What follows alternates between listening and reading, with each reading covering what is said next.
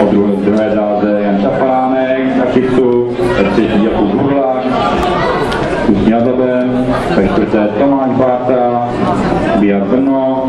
páté největší asi favorit Marek Bakala z Kladna, šesté Denis Laga, Uherské hradiště, sedmé Vojtěch Netimák, tak Pardubice a osmé Jan Kuklík vašimi lidé osmice finále chlapců. Jsme zvedli na čas, protože proti rozběhu už nepanuje ten nepříjemný, takže jsme zvědaví, jestli dostáváme vítěz času blízkého českého rekordu a stalo říká 7